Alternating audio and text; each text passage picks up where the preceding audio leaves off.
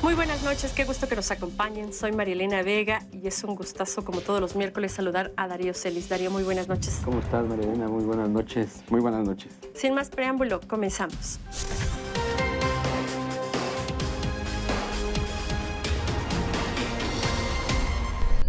México propuso un contenido regional del 70% para la industria automotriz dentro del Tratado de Libre Comercio en respuesta a la propuesta de Estados Unidos del 75%.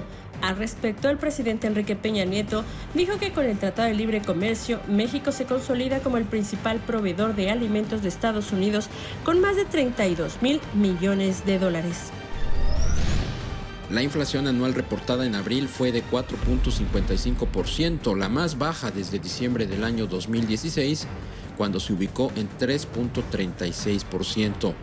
En su variación mensual, el índice nacional de precios al consumidor obtuvo un retroceso de 0.34% de acuerdo con cifras del Instituto Nacional de Geografía y Estadística. El peso lleva seis jornadas seguidas de pérdidas y cerró en 19.75 por dólar, esto en ventanilla. Analistas económicos argumentan que este movimiento del tipo de cambio se debe a las renegociaciones del Telecan y por supuesto al proceso electoral. El aumento anual de las pólizas de gastos médicos mayores, que llega a ser de 40%, se debe al avance de la medicina y de la tecnología al envejecimiento del asegurado y a los abusos que se dan por parte de médicos y hospitales, reconoció Normalicia Rosas Rodríguez, presidenta de la Comisión Nacional de Seguros y Fianzas. Históricamente, el Fondo Nacional de Fomento al Turismo, el FONATUR, ha promovido cinco destinos turísticos, pero en esta ocasión vamos a hablar de sus dos nuevos hijos. Vea lo que le preparamos. El Fondo Nacional de Fomento al Turismo es la institución responsable de la planeación y desarrollo de proyectos turísticos sustentables de impacto en México y un órgano de fomento a la inversión. Nació a finales de los 60 de la mano del Banco de México y cuyo objetivo era impulsar centros integralmente planeados, los famosos CIPS, para que se tradujeran en crecimiento económico interno, en inversión, empleo y exposición de México a nivel internacional. Cancún fue el primer centro integralmente planeado de Fonatur, que inició operaciones en 1974 y que forma parte del sistema regional turístico de la Riviera Maya. A 44 años de distancia, el Fonatur ha sufrido varias transformaciones para avanzar en la inversión turística. Dejó de ser parte de Banjico para pasar a las filas de la Secretaría de Turismo como un órgano autónomo Actualmente el Fonatur opera nueve centros integralmente planeados. Cancún, Ixtapa, Los Cabos, Loreto, Huatulco, Nayarit, Marinas Turísticas, Marina Cozumel y Playa Espíritu.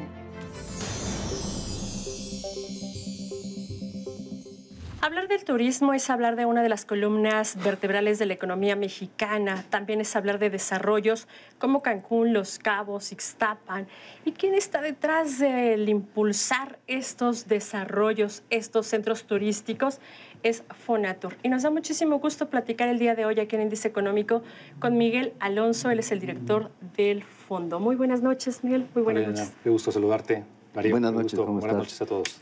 Miguel, ¿cómo estamos en materia de desarrollos turísticos en México? Bien, bueno, nosotros como eh, el brazo, eh, digamos, que atrae inversiones, da mantenimiento a destinos turísticos de sector, eh, hemos venido trabajando de manera muy consistente. Fonatur recién cumplió hace unos días 44 años de su creación y esta, digamos, historia de proyectos exitosos de una marca que se ha consolidado como lo es Fonatur, tanto en el ámbito nacional como internacional, permite que sea una institución del Estado mexicano con fortaleza, con credibilidad y sobre todo con una visión que ojalá así se aplicara pues, en todos los demás ámbitos del desarrollo, que es eh, nuestra principal divisa, la planeación. Cuando hay buena planeación en los desarrollos, cuando hay eh, un apego lo más estricto posible a esos planes, me parece que las cosas se logran bien. Y para Fonatur, pues el caso de mayor éxito es Cancún, como ustedes bien lo saben, es el caso de Los Cabos también, que han sido dos de los grandes proyectos enarbolados, impulsados por, por el fondo, por Funatur, y que pues siguen dando muy importantes eh, números o suman de manera muy importante a los indicadores de este gran momento que vive el turismo en México con números históricos. Miguel, el Fonatur es el padre, por decirlo de alguna manera, de los centros integralmente planeados más famosos del país, Cancún, Huatulco, Los Cabos, Ixtapa y Loreto. Pero más allá de estos destinos, eh, a últimas fechas hemos oído de Costa Canuba, en la Riviera Nayarita, y de Playa Espíritu, en el estado de Sinaloa. De hecho, en este último caso, en el pasado tianguis turístico que se celebró justamente en Mazatlán, se presentaron avances de Playa Espíritu. ¿Por qué no nos hablas de estos dos nuevos hijos que tiene el Fonatur? Sí, sí, Darío, cómo no. Efectivamente. Eh, pero en esta parte de los nuevos destinos, eh, digamos, relativamente nuevos, eh, Playa Espíritu en Sinaloa tiene 10 años, que fue creado en 2008. Se han generado a lo largo de estos 10 años inversiones en materia de infraestructura interna de este, de este desarrollo, a una hora y media de Mazatlán por, por tierra. es un destino muy bonito desde el punto de vista de naturaleza ambiental y pues tenemos ya infraestructura física, eh, vialidades, drenajes, aguas potables y anunciamos la semana pasada justamente en, Mazatlán que ya subíamos los, los primeros 32 lotes a la venta para comercializar. Tenemos nosotros una superficie comercializable de todo el inventario de Fonatur en distintos lugares de alrededor de 35, 335 hectáreas, eh, pero una parte sustantiva están precisamente en eh, Playa Espíritu, en Loreto, que son dos de los lugares que tenemos todavía mucha oferta de tierra, y desde luego Costa Canuba, Darío, eh, Marilena, que es eh, un bellísimo lugar, un espléndido lugar en una asociación que se hizo por parte de Fonatur con una empresa portuguesa, Motenil, con quienes están ya desarrollando los primeros hoteles y que también será una bahía muy bonita, muy especial que se sume precisamente esta oferta hotelera creciente en México y que Fonatur pues, seguirá de forma muy directa participando en el desarrollo, pero también en el mantenimiento y conservación. En Costa Canuba ya hay, de hecho, compromisos de inversión, creo que de un par de cadenas hoteleras españolas, ¿no? Pero en Playa Espíritu ya hay alguna manifestación de interés de algún grupo hotelero por establecerse ahí? Eh, estamos justo, eh, Darío, en, esa etapa. Estamos optimistas que a partir de que ofrecemos este nuevo, nuevo destino, este nuevo centro integralmente planeado que es Playa Espíritu en Sinaloa, puedan llegar eh, inversiones, puedan llegar cadenas hoteleras. Algo, algo interesante que también anunciamos es que en este nuevo complejo vamos a darle una vocación eh, esencialmente de turismo de naturaleza, de turismo sustentable. Por decir algo, tenemos un convenio Fonatur La UNAM eh, en, este lugar, Playa Sinaloa, donde tenemos ya un campamento de tortugas, tortugario. Ya se ha comenzado a generar eh, anidación y también liberación de tortugas hay también un área muy bonita para agroturismo, que también es una de estas innovaciones en el ámbito eh, del turismo, de tal forma que hemos decidido reducir la densidad del número de hoteles en, Playa Espíritu y darle más este corte de un turismo sustentable, de naturaleza, de vinculación y de, convivencia entre los seres humanos y estas especies que también buscaremos conservarlas. Así es que también será un, destino muy interesante con esta visión de sustentabilidad. Miguel, ¿qué ha pasado con algunos desarrollos como Loreto, como Ixtapa, que no terminan de detonar tan fuerte como lo es Cancún o Los Cabos. Parecerían que siguen siendo nuestros vasos fuertes en materia de desarrollo turístico y bueno, pues hay otra belleza diferente eh, pues como lo es Loreto, que no terminan, pese a que se encontraron en desarrollos desde los ochentas. Exacto, Elena. efectivamente, sí, sí ha sido un crecimiento un tanto desigual. Eh, hay unos que han logrado un crecimiento mucho más acelerado que otros, teniendo bellezas naturales de clima muy similares.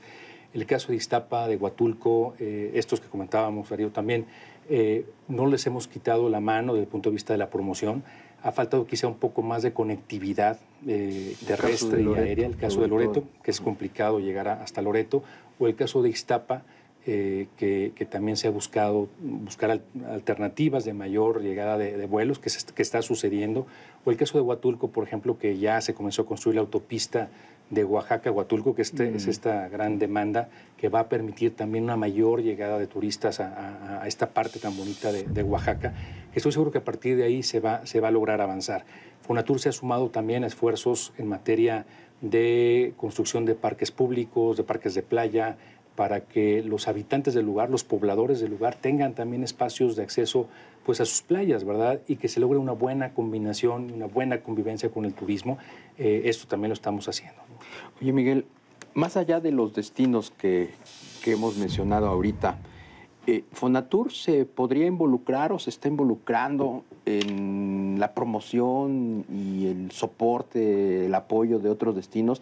Yo recuerdo que en el sexenio pasado, por ejemplo, se hablaba de unos estudios que hizo para rescatar Acapulco, por ejemplo. Así es. Eh, y otros centros que no necesariamente son de playa.